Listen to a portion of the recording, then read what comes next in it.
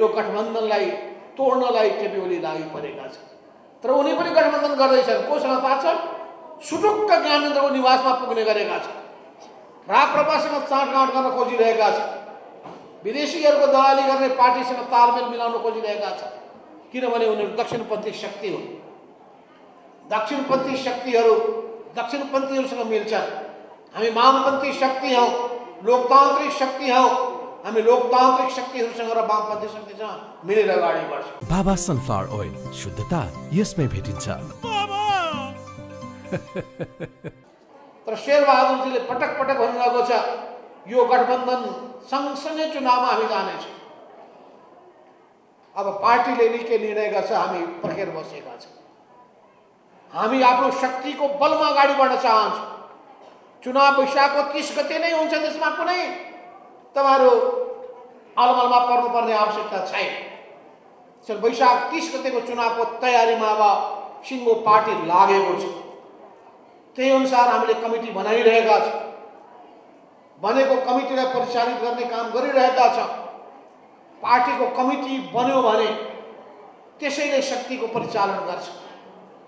त्यसैले कार्यकर्ताको छनौट गर्छ। त्यसैले उम्मेदवारको बारेमा छलफल चलाउँछ। र हामी आफ्नो तर्फबाट आफ्नै शक्ति र बुद्धाले जित्न सक्ने कहाँ कहाँ छ तर चुनाव हो कहिले दुई एक भोटले हारिन्छ कहिले एक भोटले जितिन्छ कहीँ सय भोटले जितिन्छ हारिन्छ कहीँ दुई सय भोटले जितिन्छ हारिन्छ म एक ठाउँबाट दुई सय बिस भोटले जितेको छु त्यस्तो अवस्थामा स्वाभाविक रूपमा मान्छे धेरै भोटले जित्न चाहन्छ। म एकचोटि दोब्बर भोटले एउटा निर्वाचन क्षेत्रमा जितेँ। दुईवटा निर्वाचन क्षेत्रमा दुई दोब्बर भोटले जितेँ तर सबै ठाउँमा त त्यस्तो हुँदैन त्यस्तो अवस्थामा अनि अरूको पनि हितमा मैले सुने कि हाम्रो आर्जु देउवाले भन्नुभएछ अरे कता हो म कैलालीबाट उठ्छु र उठ्नको लागि गठबन्धन चाहिन्छ। गठबन्धनको म पक्षमा छु उहाँले पनि भन्नुभयो। धन्यवाद छ उहाँलाई आर्जु। देउवालाई पनि। त्यसो हुनाले हामी हामीसँग मेल खाने मिल्ने विचार मिल्नेसँग हातेमालो गर्दै जान्छौँ।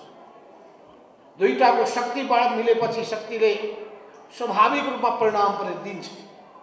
अहिले मोहन विक्रमजीको पार्टीले पनि हामीसँग मिलेर जाने प्रस्ताव राख्नु भएको छ। उपेन्द्र यादवजीको पार्टीले पनि जनता समाजवादीले मिलेर जाने प्रस्ताव हामीसँग राख्नु भएको छ।